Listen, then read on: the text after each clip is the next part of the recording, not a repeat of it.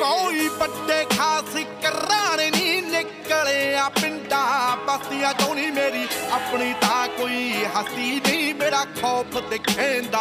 ਹਸਤੀਆਂ ਚੋਂ ਪਿੱਟੀ